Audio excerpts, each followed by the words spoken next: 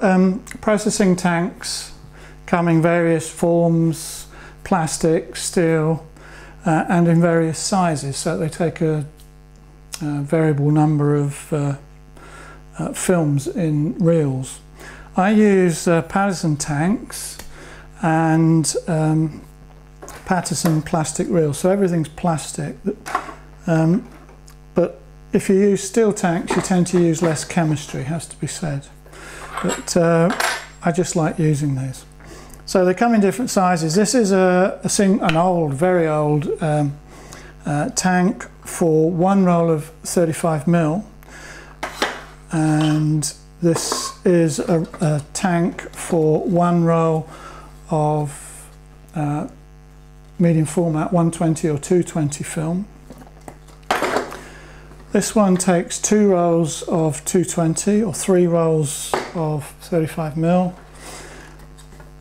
This takes three rolls of 120 or five rolls of 35 mil. And the one that I usually use is this one and it takes five rolls of 120 or eight rolls of 35 mil. I work exclusively with 120, so uh, that's, that's, what I'm using all of the time.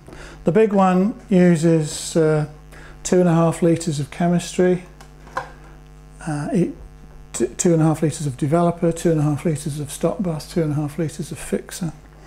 Uh, uh, the, the little one here uh, uses 290 mils per 35 mil film.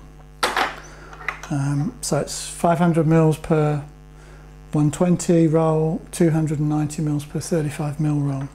And uh, you just work out the volume that you need for the size of the tank that you've got.